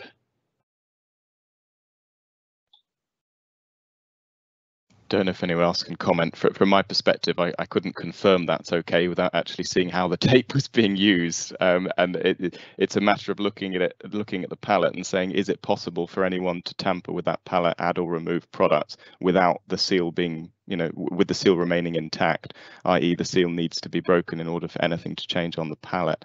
Um, but uh, yeah, without seeing it, I couldn't couldn't say whether or not that was acceptable. But Damien, I don't know if you're about to come in. Yeah, th th thanks, Anthony. Yeah, sorry, my my system dropped, so I'm I'm on my colleague's uh, line at the moment. So, um, yeah, look, I think maybe I, will get one of my colleagues, Lorna, maybe to come in on sealing more generally, just to explain uh, what we're doing on sealing and where that's that, that that that's coming from. I mean, as I understand it, we're, we've kind of piggybacked on the work the UK did on you know their export sealing for pallet level seals, and you know we're trying to follow as much as possible, you know what the work they've done since the first of January on, on that. But Lorna, maybe can you come in on that and just give a yeah, bit more I background? Can, I hope you can hear me there now, um, Damien. Yeah, we can. Yeah. Yeah, I suppose just as regards seals, we're not being too prescriptive around um, the seals, except that they must be robust, numbered, and tamper evident. So that's the first thing, um, and that ties in what with what Anthony said there. That like, I mean, if it's it's it's a mechanism to secure the consignment so that there can be no substitution or it can't be interfered with um, post uh, certification. Um, so what we've been saying to people is um, that they must engage locally and uh, with with staff who will be doing the certification, um, so that they can see they can demonstrate exactly the seal type that they intend to use and see if it's appropriate and fit for purpose. So, so that that's how people should proceed as regard regards pallet seals. They should, as we were saying before, engage locally, uh, give a demonstration of the type of seal that was intended to be used on the pallets, um, and agree with the certifying officer how they would be applied or if they're suitable.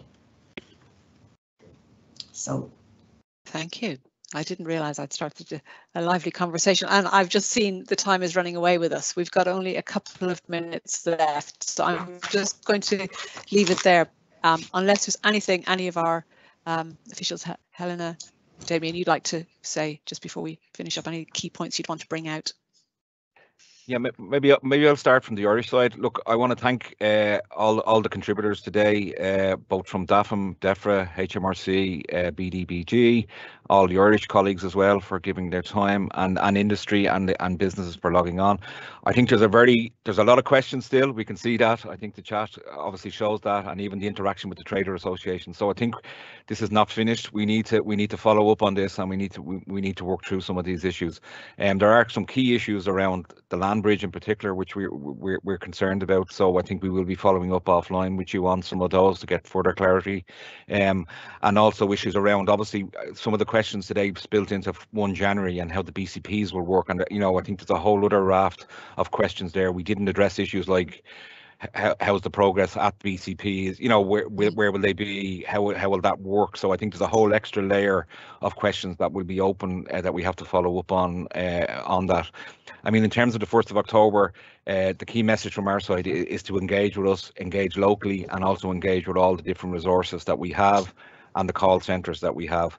Uh, we we need to engage and communicate. So uh, we're open to doing that, and we want to do that, and we will pass messages on to our UK colleagues as well. So again, I just want to say thank you to everybody for participating. Helena, her team, Margaret, you and your team, and uh, my own colleagues for all the work they've done on this. And thank thank you to our contributors in session two as well. They put a, a, strong effort in as well. So again, just to say to them as well, I think they had some specific questions. So we will come back on those as well. I think anything we missed today, I think we, we, we will definitely commit to coming back with written answers on those as well. So thank you. Maybe I'll just hand over to Helen. I don't know whether you want to say anything and before Margaret wraps up.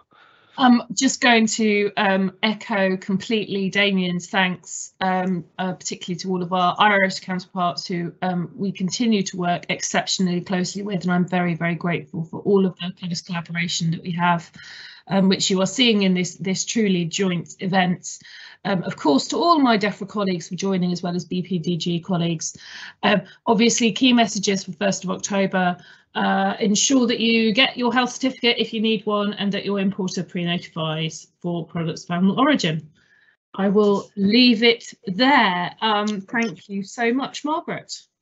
Thank you all. Um, uh, yes, I think uh, this is the first time we've done an event like this, having the technical session in the middle of it. Um, I, th I, think it's gone well. We've brought lots of information out and I suspect we could sit here all day talking about all of these things, but we will uh, share the recording, we will be sharing the slides um, and we will capture all of your questions and we will provide answers to them and publish those for you as well. But uh, it just remains for me to say thank you to everybody who's participated today and you, the audience, for joining us. Thank you.